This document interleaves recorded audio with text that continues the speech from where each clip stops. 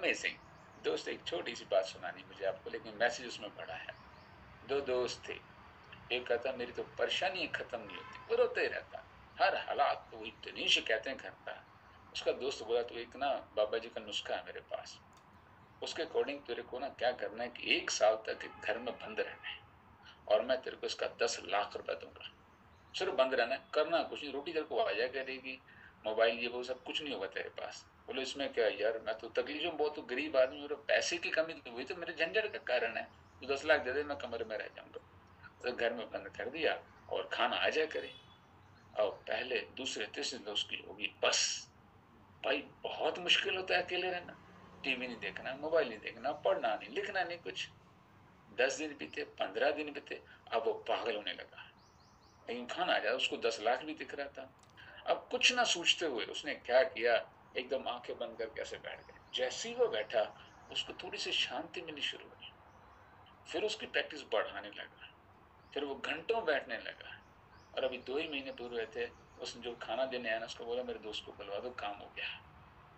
दोस्त दो महीने बाद बुला लिया। बोले, तूने दस लाख नहीं, मेरे को दस करोड़ की एडवाइस दे दी है। बोले, क्या? अकेले बैठो। बोला, मैं इतना लोगों के बीच करा हुआ था कि मुझे अपने साथ बैठ के, अपनी ज़िंदगी को समझने का मौका ही नहीं मिला। इसलिए मैं समझ नहीं पा रहा था कि दिक्कत कहाँ पे है। अब मैं अकेला रहा मेडिटेशन भी की मैंने जाके और मैं अपनी समस्याओं को अच्छे से समझ पाया। कुछ मिनट अकेले ही बैठा करो। ये बहुत इंपॉर्टेंट है। मैं हमेशा एक बात कहता हूँ, मेरी ज़िंदगी की फिलोसफी है, जो आदमी अकेला नहीं रह सकता, वो किसी के साथ नहीं रह सकता और जो किसी के साथ प्यार से नहीं सकता, वो अकेला भी नहीं रह सकता। दोनों बातें सच हैं। इसलिए कुछ मिनट, कुछ घंटे जितना आपको अफोर्ड करे, आपके टाइम हो अकेले ज़रूर बैठो। और हो सके तो डायरी पेन लो। कुछ विचार आए तो लिखना, उसमें अद्भुत सी बातें दिमाग में आती हैं। उसमें मोबाइल नहीं देखना टीवी नहीं देखना जो पढ़ना नहीं, कुछ लिखना नहीं। अकेले बैठो। मेडिटेशन करो, चाहे सेल्फ असेसमेंट करो, लेकिन अपने साथ ज़रूर बैठो। दुनिया में एक इंसान है जिसके साथ आप बहुत जल्दी बोर होते हो। आप अकेले नहीं रह सकते।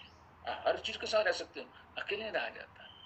और अपने साथ रहना ही सबसे ज़्यादा ज़रूरी है, तब आपको पता चलेगा आपके अंदर कितने जीनियस छुपे हुए हैं। आप पता नहीं कैसी कैसी बातें सोच पाओगे। But this is most essential अपने साथ कुछ समय ज़रूर बिताया करो।